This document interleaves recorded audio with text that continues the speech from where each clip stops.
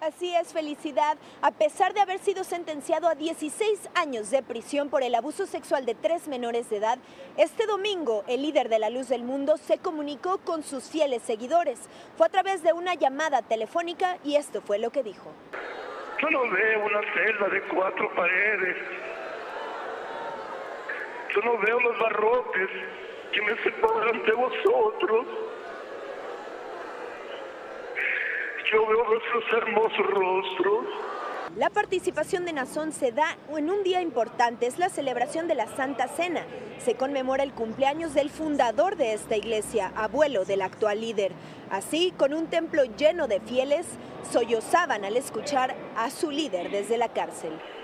Decididos, pero también agradecidos contigo. Te seremos fieles, Señor Jesucristo hasta nuestro último aliento.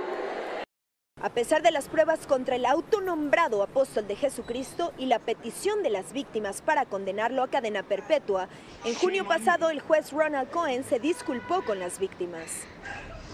And as to the defendant, I say, you are a sexual predator y lo sentenció por tres de los 19 cargos a los que estaba acusado. Desde entonces permanece tras las rejas, pero este domingo sus palabras resonaron. Felicidad, la información hasta el momento. Regresamos contigo. Gracias, Valeria.